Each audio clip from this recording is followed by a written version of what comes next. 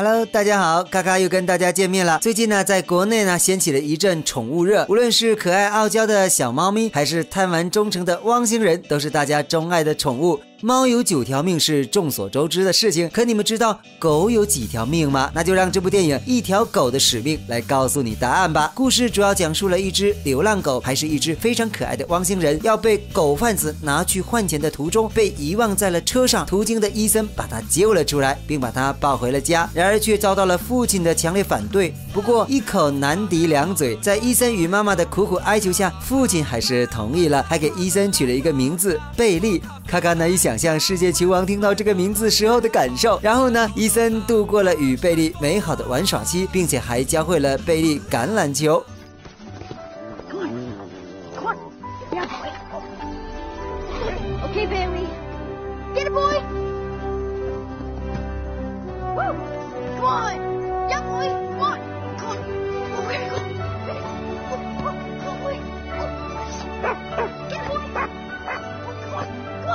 可是好景不长，父亲因为工作升职需要，邀请领导夫妇来自己家中用餐。结果是的，被伊森和贝利搞砸了。父亲因此失去了工作，并染上了酗酒的恶习，家庭关系也一度紧张。长大的伊森在游乐场认识大美妞汉娜，并一起相约上同一所大学。只要贝利可以在橄榄球比赛中获得冠军，毫无疑问，伊森在人生中最重要的这次橄榄球比赛中获得了冠军。可是当天在夜深人静的时刻，被嫉妒他的同校生放火烧了家。如果没有汪星人贝利，他。可能早就驾着仙鹤西去了。虽然生命没有遭受到威胁，但还是因为跳楼腿部造成的骨折，从此成了一个瘸子。一条腿对于一个橄榄球运动员的重要性不言而喻了吧？电影的情节总是按照电影的发展去设置。果不其然，伊森跟大美妞汉娜分手了，自己上了农业大学，管理着祖父的农场。而贝利呢，因为肾衰竭而死亡了。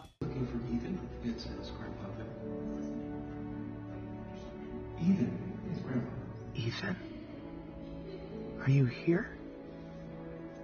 I can't smell you. Where are you? 似乎一切都像是命中注定一样。贝利转生来到了一只警犬身上，主人是一名警察，并给他取了新的名字沃利。每天接受着警务训练，过着别样的狗生，也蛮好的。不过呢，在随后的一次出警任务中，沃利为了保护自己的主人，被歹徒枪击身亡了。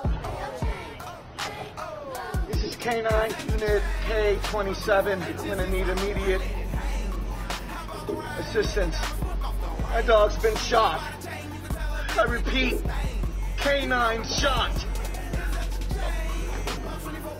I always hated getting shots.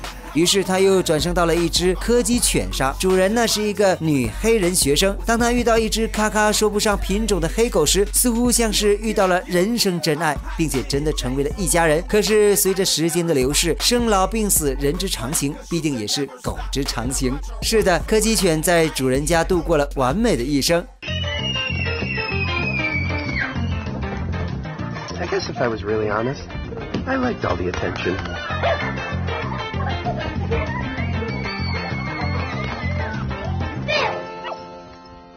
最后转身来到了一对年轻情侣家，不过很快的就被抛弃，成为了一只流浪狗。在他流浪的一次偶然中，他闻到了他身为贝利时熟悉的味道，一点点的寻找，他终于找到了自己曾经的家。看到自己的老主人伊森，他内心开心雀跃，直接扑到了伊森身上。然后因为外表的变化，伊森还是没有认出贝利来。贝利随后开始漫长的自己证明阶段，先是把伊森曾经的情人汉娜引回了家，两人重归于。好，也举办了浪漫的婚礼，最终又用橄榄球的方式让伊森认出了自己是贝利。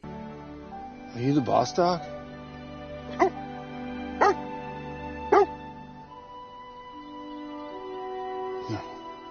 Yes, it's me, Ethan. It's me.